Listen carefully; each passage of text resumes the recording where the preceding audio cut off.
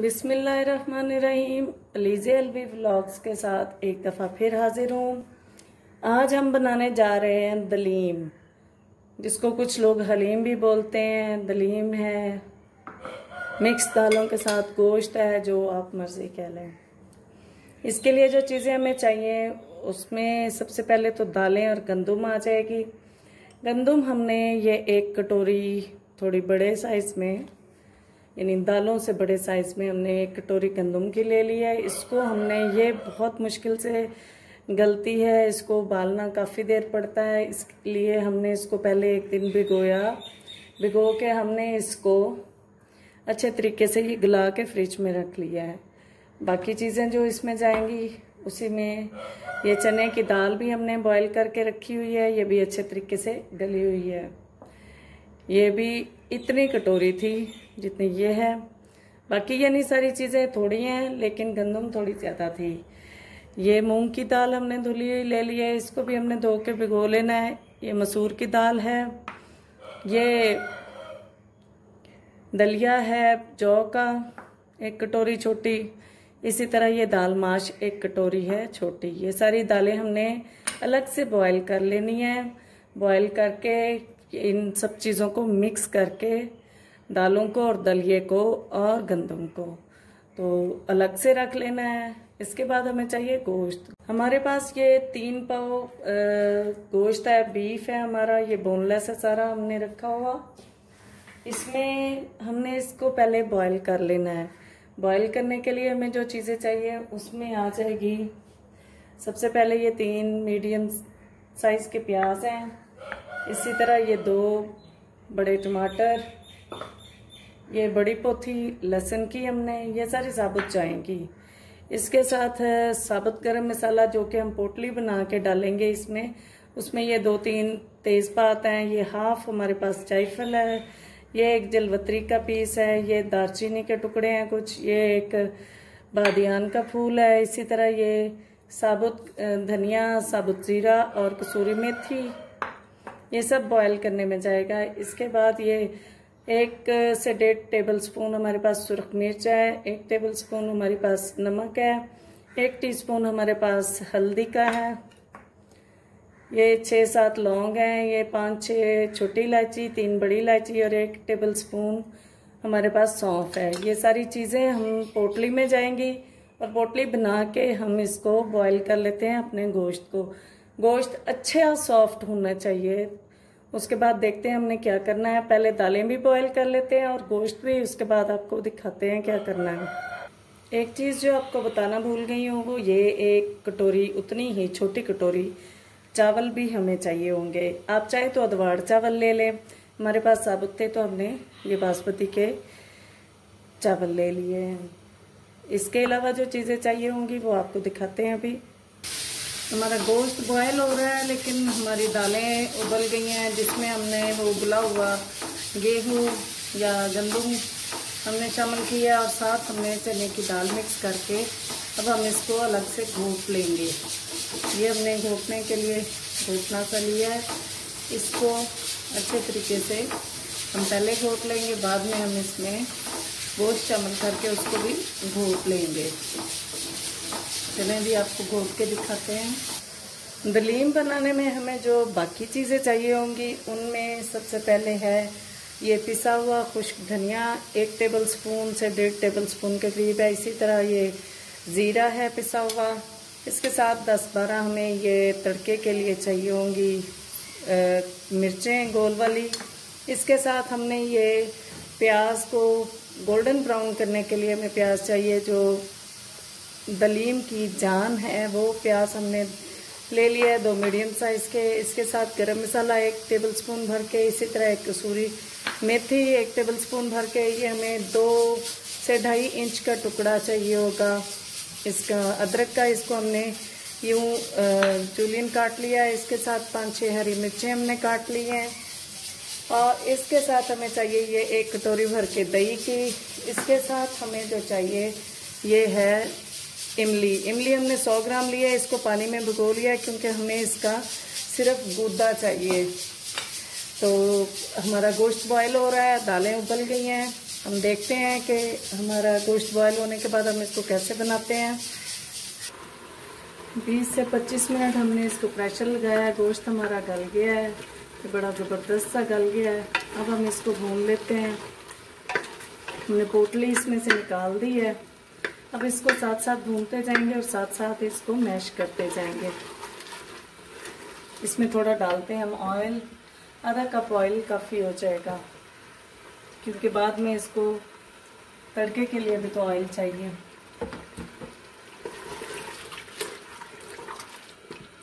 इसको भून लेते हैं।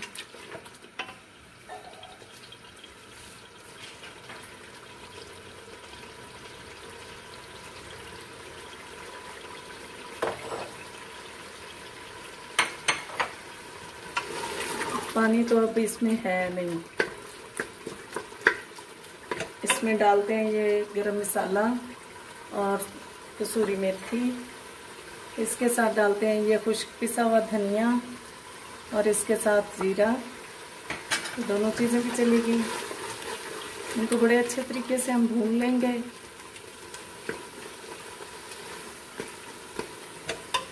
साथ हमने ये जो हमारी एक कटोरी दही थी, वो भी अभी शामिल करके इसको बड़ा अच्छा सा भून के रेडी कर लेते हैं।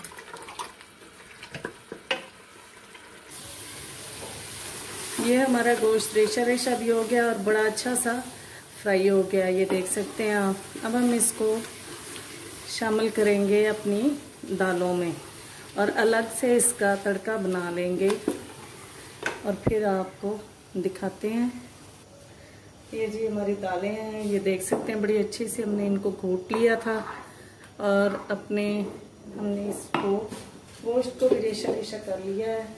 ये भी इसमें शामिल कर देते हैं। और इसको इसके साथ मिक्सअप करके हम बहुत अच्छे तरीके से दोबारा से घोटते हैं इसको, ताकि हमारा दलीम बड़ा अच्छा सा रेडी हो जाए। अगर इसमें नमक मिर्च आपको कम लगे तो आप इसमें हरी मिर्चें या कुछ और भी ऐड कर सकते हैं। अभी हम इसको मिक्स कर लें, फिर चेक करते हैं इनकी क्या सिचुएशन है। ये बड़े अच्छे तरीके से आपने घोटना है। नमक चेक कर लेते हैं। इसमें नमक कम है, मिर्चें सही है। ये जो 100 ग्राम इमली हमने भिगोई थी, इसको अच्छे तरीके से यूँ मसल लेते हैं। मसलने के बाद इसका गूदा हम इसमें शामिल कर देंगे। ये इमली का गूदा शामिल हो गया है। अब इसमें हम ये अपनी हाफ़ हरी मिर्चें भी शामिल कर देंगे। इसके साथ ये हाफ़ हमने अदरक भी इसी में शामिल कर देना है। इसको बड़े अच्छे तरीके से घोटते रहना है गोल गोल घुमाने से ही इसके अंदर लेस पैदा होगी। चाहे आप घोटने से करें, चाहे आप इस तरह लकड़ी के चम्मच से कर लें। ये देखिए, आहिस्ता आहिस्ता इसमें लेस पैदा होना शुरू हो गई है। दलीम का असल जो टेस्ट आता है, वो इसी लेस की वजह से आता है। बन जाता है तो दिखाते हैं आपको। एक टीस्पून नमक हमने डाला है, फिर भी हमें कम महसूस हुआ तो और डाल लेंगे। अभी इतना ही काफ़ी है। हमने दालें बगैर नमक मिर्च डाले, कुछ भी नहीं डाला और उनको सिर्फ़ बॉईल किया था। बाकी जो है, वो हमने सिर्फ़ और सिर्फ़ गोश्त में सब कुछ डाल के अब इसको 15 से 20 मिनट इसी तरह पकाते रहना है और साथ साथ हिलाते रहेंगे, क्योंकि जो इसमें जौ का दलिया है गंदम है, चावल है, सब कुछ ही नीचे लग जाने वाला है। तो अगर ये दलीम नीचे लग जाएगा तो इसका मतलब है कि ये दलीम खराब हो जाएगा। ये आप देख रहे हैं, कितना ज़बरदस्त सा लेसदार दलीम रेडी हो गया है। इसको टेस्ट कर लेते हैं कि इसमें नमक मिर्च पूरा है। अगर आपको मेरी रेसिपी पसंद आए तो लाइक कीजिए शेयर कीजिए सब्सक्राइब कीजिए और बेल आइकॉन को भी दबा दीजिएगा, ताकि आपको मेरी रेसिपीज़ मिलती रहें।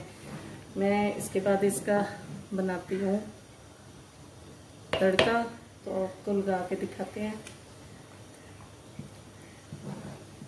ज़बरदस्त। बहुत मज़े का बन गया। बस अब इसमें तड़का लगाते हैं। एक कप के करीब हमने तेल लेके दो मीडियम साइज़ के प्याज को ब्राउन के लिए रख दिया है।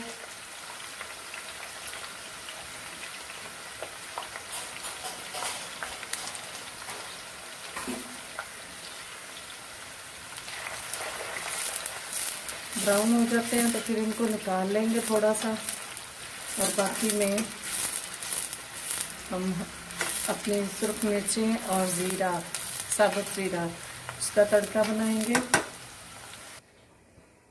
ये ऑयल में से हमने प्याज तो लिए हैं, निकाल। अब हम इसमें तड़का बनाते हैं ये ज़ीरे का। और इसके साथ ये गोल मिर्चों का। ये थोड़े फ्राई हो जाते हैं। तो हम डिश आउट करके आपको डिश की फाइनल लुक दिखाते हैं। ये है जी हमारी डिश की फाइनल लुक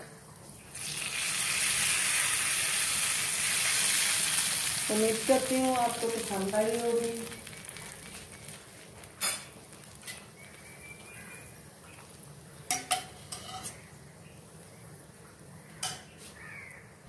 उम्मीद करती हूँ आपको पसंद आई होगी। पसंद आ जाए तो लाइक कीजिए शेयर कीजिए सब्सक्राइब कीजिए और बेल आइकॉन को भी दबा दीजिए।